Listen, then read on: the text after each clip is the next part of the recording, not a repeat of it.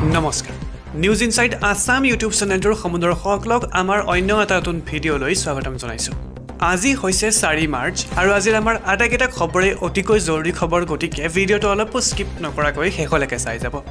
লগতে আমাৰ চেনেলটোক ছাবস্ক্ৰাইব কৰি ভিডিঅ'টোত একোটাকৈ লাইক কৰি আমাক উৎসাহিত কৰিবলৈ একেবাৰে নাপাহৰিব। গতিকে আৰু বেছি সময় পলম নকৰি আহকচোন আজিৰ আমাৰ ভিডিঅ'টো আৰম্ভ কৰোঁ। আজিৰ আমাৰ প্ৰথম খবৰটি এটা ভাল খবৰ এটা জানিবলগীয়া খবৰ। আপোনাৰ বেংক একাউণ্ট আছে যদি এতিয়াই পৰীক্ষা কৰক আপোনাৰ বেংক একাউণ্ট কাৰণ শৌচাগাৰ নিৰ্মাণ কৰিবলৈ চৰকাৰে প্ৰদান কৰিছে ন হাজাৰকৈ টকা। এই মুহূৰ্তত জনাইছোঁ এটা জানিবলগীয়া খবৰ। আপুনি যদি চৰকাৰী শৌচাগাৰৰ বাবে আবেদন কৰিছিল তেন্তে আপোনাৰ বেংক একাউণ্ট পৰীক্ষা কৰক আজিয়েই। পকী শৌচাগাৰ নিৰ্মাণ কৰিবলৈ চৰকাৰে দিছে চৰকাৰী ধন। ৰাজ্যৰ এক লাখ লোকক প্ৰদান কৰা হৈছে ন হাজাৰকৈ টকা।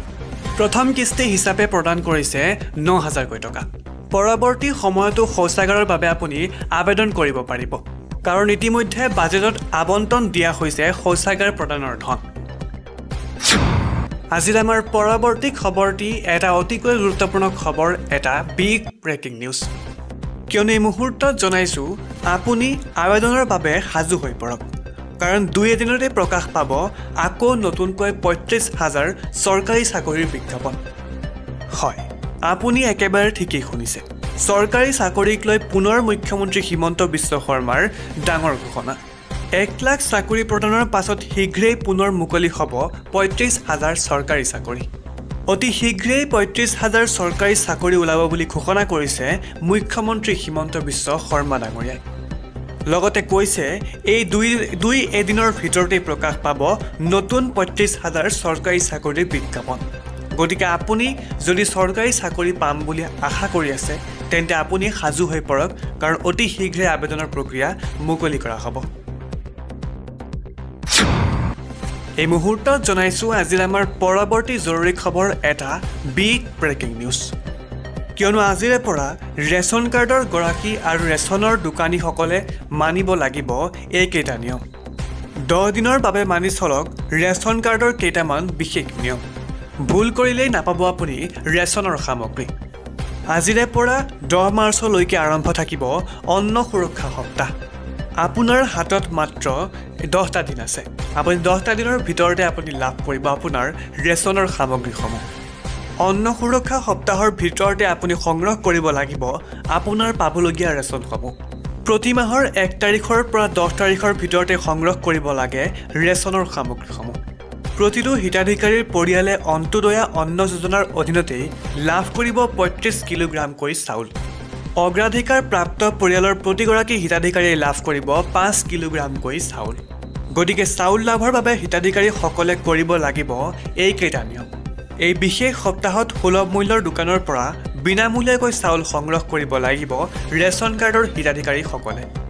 লাভ কৰা চাউলৰ বিপৰীতে ই পোষ্ট মেচিনৰ সৃষ্ট ৰচিদ সংগ্ৰহ কৰিব লাগিব ৰেচন কাৰ্ডৰ হিতাধিকাৰীসকলে। অন্ন সেৱা সপ্তাহৰ বিষয়ে হিতাধিকাৰীসকলক ফোনযোগে জনাব লাগিব। অন্ন সেৱা সপ্তাহৰ প্ৰতিটো দিনতেই দিনজোৰাকৈ দোকান খুলি ৰাখিব লাগিব। অৰ্থাৎ আজিৰে পৰা দহ তাৰিখলৈকে ৰেচনৰ যি দোকানসমূহ আছে গোটেই দিন দোকানখন খোলা ৰাখিব লাগিব। আজিৰ আমাৰ পৰৱৰ্তী খবৰটি এটা চাঞ্চল্যকৰ খবৰ এটা শোকাবহ খবৰ। হয়। আপুনি একেবাৰে ঠিকেই শুনিছে। ৰাজ্যত পুনৰ ভয়ংকৰ এণ্ড ৰাণৰ ঘটনা সংঘটিত হৈছে। এখন তীব্ৰবেগী এল্ট' বাহনে মহতিয়াই নিলে এজন পথচাৰীক। হাজিৰা কাম কৰি ঘৰলৈ উভতাৰ পথতেই মহতিয়াই নিলে সেই লোকজনক। দুৰ্ঘটনা সংঘটিত কৰিয়ে পলায়ন কৰিলে এল্ট' বাহনখন। আৰু তাৰ পাছত আৰক্ষীয়ে খেদি খেদি জব্দ কৰে এল্ট' বাহনখন। গাড়ীখন ৰখাই পলায়ন কৰে দুৰ্ঘটনা সংঘটিত কৰা এল্ট' বাহনখনৰ চালকজনে।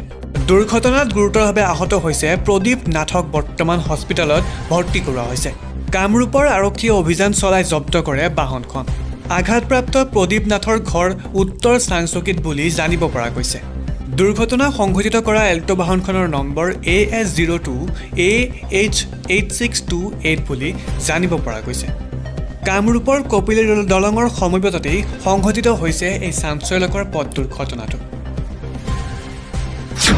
এই মুহূৰ্তত জনাইছোঁ আজিৰ আমাৰ পৰৱৰ্তী গুৰুত্বপূৰ্ণ খবৰ এটা ভয়ংকৰ ডকাইতিৰ ঘটনা। এখন চলন্ত ৰেলত গুলীয়াই লুটপাত কৰে ডকাইতে। এই মুহূৰ্তত জনাইছোঁ এটা ভয়ংকৰ খবৰ এটা বিগ ব্ৰেকিং নিউজ এখন চলন্ত ৰেলৰ ভিতৰত সোমাই যাত্ৰীক গুলীয়ালে ডকাইতে। লুণ্ঠন চলোৱাৰ বিৰোধিতা কৰোঁতেই যাত্ৰীক গুলীয়াই দিলে ডকাইতে।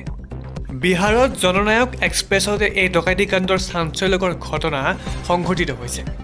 যাত্ৰীৰ মাজত আতংক সৃষ্টি কৰিবলৈ পিষ্টল দেখুৱাই দিছিলে ভাবুকি। এই চাঞ্চল্যকৰ ঘটনাৰ পাছতেই যাত্ৰীৰ ধন সামগ্ৰী লুটি লৈ পলায়ন কৰিলে ডকাইতৰ গোটটোৱে। ৰেলত গুলীবদ্ধ হোৱা যাত্ৰীগৰাকীৰ নাম মিথু কুমাৰ বুলি জানিব পৰা গৈছে। দৰভংগাৰ পৰা অমৃতসৰ অভিমুখে গৈ থকা জননায়ক এক্সপ্ৰেছত সংঘটিত হৈছে এই ডকাইতি কাণ্ডৰ ভয়ংকৰ লুটপাতৰ চাঞ্চল্যকৰ ঘটনাটো। যাত্ৰীক গুলীওৱাৰ পাছতেই এক ঘণ্টাৰ বাবে ষ্টেচনত আবদ্ধ স্তব্ধ হৈ পৰে ৰেলখন। আজিৰ আমাৰ পৰৱৰ্তী খবৰটি এটা চাঞ্চল্যকৰ খবৰ এটা বিগ ব্ৰেকিং নিউজ আজিৰে পৰা আপুনি ৰাজপথলৈ আপোনাৰ বাহনখন ওলাই লৈ যোৱাৰ আগতে এই খবৰটি এবাৰ চাই ল'ব।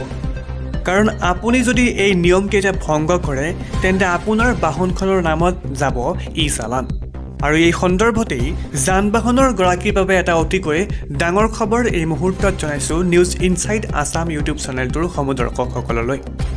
ৰাজপথত বাহন উলিয়াবলৈ দহবাৰ ভাবিব লাগিব আপুনি। আপুনি গম নোপোৱাকৈ আপোনাৰ বাহনখনলৈ যাব পাৰে ই চালান হেলমেট পৰিধান নকৰাকৈ বাইক চলালেই বিপদত পৰিব চালকজন। বাতিল হ'ব লাইচেঞ্চ আৰু গাড়ীৰ আৰ চিখন কেৱল এয়াই নহয় নিয়ম ভংগ কৰাৰ ফটো প্ৰকাশ পাব। চি চি টিভি কেমেৰাত বন্দী হৈ থাকে নিয়ম ভংগ কৰাৰ চালকৰ দৃশ্য। নিয়ম ভংগ কৰিলে কোনো কাৰণতে সাৰি যাব নোৱাৰিব বাহনখনৰ গৰাকী। আৰু লগতে ভৰিব লাগিব দহ হাজাৰ টকা পৰ্যন্ত জৰিমনা।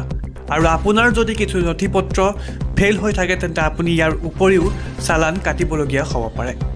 অৰ্থাৎ আপোনাৰ যদি কিবা ডকুমেণ্টছ ফেইল আছে তেন্তে আপুনি এই দহ হাজাৰ টকা জৰিমনাৰ উপৰিও আৰু টকা ভৰিবলগীয়া হ'ব পাৰে। ছিট বেল্ট পৰিধান নকৰা চালককো বিহা হ'ব জৰিমনা। বৰপেটা আৰক্ষীয়ে প্ৰকাশ কৰিলে নিয়ম ভংগ কৰা চালকৰ ফটো। কোন সময়ত কিদৰে ভংগ কৰিছিল নিয়ম? সকলো প্ৰকাশ কৰিছে আৰক্ষীয়ে। নিয়ম ভংগ কৰা কোনো কাৰণতে চালকজন সাৰি যাব নোৱাৰে এই মুহূৰ্তত জনাইছোঁ এই গুৰুত্বপূৰ্ণ খবৰ। আজিৰ আমাৰ পৰৱৰ্তী খবৰটি এটা গুৰুত্বপূৰ্ণ খবৰ এটা জৰুৰী খবৰ। কিয়নো এই মুহূৰ্তত যদি আপোনাৰ হাতত ৰেচন কাৰ্ড আছে তেন্তে আপোনাৰ বাবে মুখ্যমন্ত্ৰীয়ে ঘোষণা কৰিছে সোতৰটাকৈ নতুন ঘোষণা। হয়। আপুনি ঠিকেই শুনিছে। এই মুহূৰ্তত জনাইছোঁ ৰেচন কাৰ্ড আয়ুষ্মান ভাৰত উজ্বলা গেছসহ সোতৰটাকৈ নতুন ঘোষণা মুখ্যমন্ত্ৰীয়ে কৰিছে। আগতে ৰেচন কাৰ্ডত হিতাধিকাৰীয়ে কেৱল চাউল লাভ কৰিছিল কিন্তু এতিয়াৰে পৰা ৰেচন কাৰ্ড থাকিলে পাঁচ লাখ টকাৰ চিকিৎসাৰ সেৱা লাভ কৰিব ৰেচন কাৰ্ডৰ হিতাধিকাৰীসকলে। আয়ুষ্মান ভাৰত আয়ুষ্মান অসমৰ কাৰ্ড পোৱাত পলম হ'লে ৰেচন কাৰ্ডৰ দ্বাৰাই আপুনি লাভ কৰিব বিনামূলীয়া চিকিৎসাৰ সুবিধা। যিকোনো চৰকাৰী বেচৰকাৰী চিকিৎসালয়ত আপুনি চিকিৎসাৰ সেৱা লাভ কৰিব। ৰেচন কাৰ্ডখন দেখুৱালেই উজ্বলা আঁচনিৰ গেছ আপুনি লাভ কৰিব সম্পূৰ্ণ চাৰিশ টকাতেই বাহিৰত গেছৰ দাম নশ টকা। কিন্তু উজ্বলা গেছৰ চিলিণ্ডাৰ থাকিলে আপুনি কেৱল মাত্ৰ ছশ টকাতেই লাভ কৰিব ৰন্ধন গেছৰ চিলিণ্ডাৰ। আমি চাৰিশ টকা কৈছিলোঁ কিন্তু আপুনি ছশ টকাতেই